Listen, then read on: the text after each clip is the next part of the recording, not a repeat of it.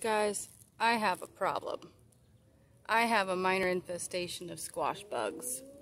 And I already sprayed uh, neem oil on, but I'm going to go ahead and just kill the eggs and any adults I see because I'm going to fight this battle before it takes over more of my squash plants. My zucchini doesn't look so well, and this one spaghetti squash looks pathetic. So I'm going to get on top of it. All right, so this morning I came out and checked again after last evening when I came out with the, with the squash bug issue. They do look like big stink bugs. So stink bugs, squash bugs, whatever. I mean, I get what you're saying with the stink bugs.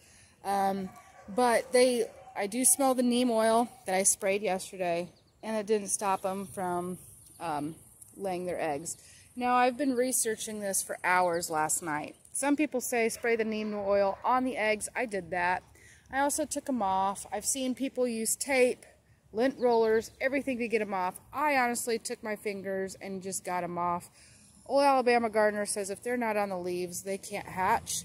Um, I'm hoping that's the case. Whatever. I don't have a lot of squash around here. I don't have a lot of plants, period. I have to keep everything I'm growing, so this means war.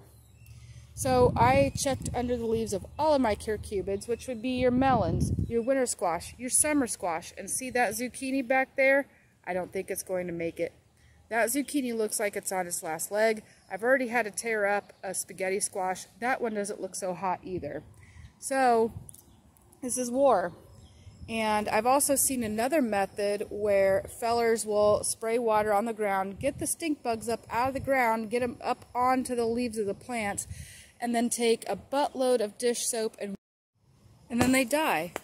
But I am going to go through all out measures, whatever it takes to get rid of these squash bugs, and I will take you along the way. You may not be able to see the actual footage, but I'll at least tell you about it. So follow along if you want to know how. So guys, it's the next day. This is day three of the squash bug infestation that I've been aware of. And there's a lot less eggs on here. And in fact, I did kill an adult I saw. And it's actually looking better um, as far as the infestation goes.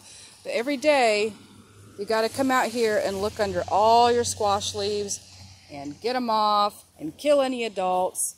And the water seems to make the adults come out of the ground more. Um, so I really don't see too many adults.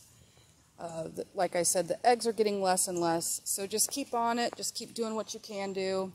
The battle can be won organically. There's no need for Sevin dust or anything else like that. But if you really have to, I still think it's better to do that than like lose your harvest altogether. And I still think it's better that you do that than buy it from the store.